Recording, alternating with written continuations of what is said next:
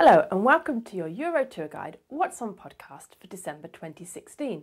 This insight into the events and fiestas which will take place this month allows you to plan ahead and never miss out. This month is mainly about Christmas.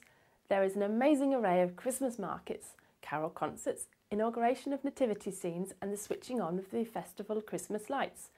Many of these take place around the national holidays of the 6th, which is Spanish Constitution Day, as well as St Nicholas Day, aka Father Christmas, and the 8th, which is the fiesta of the Immaculada Conception, Mary, the Mother of Jesus, and the patron saint of Spain.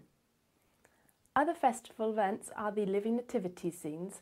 The biggest one is in Elche, where over 40 people and many animals create a first century Bethlehem, including Roman legionnaires, kings, concubines, shopkeepers, innkeepers, preachers, thieves, and lepers, as well as the main characters of Mary, Joseph, and baby Jesus. The Tirisiti plays in Alcoy. This puppet play has been performed for over a hundred years and tells the story of Christmas, adding a local twist. In Agost, between Christmas and New Year, the youth of the town dress in traditional costumes and perform traditional dances, known as the Dances de la Rey Moro. On the 28th, Ibi celebrates the Day of Innocence, the equivalent of April Fool's Day, where the whole town becomes a battlefield.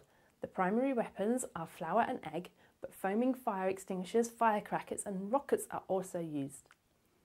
Many villages, towns, and cities have New Year Eve parties in their main plazas. It is a Spanish tradition to pop a grape into your mouth every seconds for the 10 seconds leading up to midnight. These are the main events which take place annually during December. We add the programmes for these and many more festivities to the website calendar events as they become available.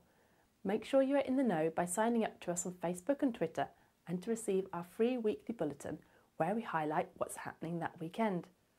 Thank you for watching and have fun visiting the fiestas and using the information on the website and in the days out and local area Costa Blanca South guidebooks to explore.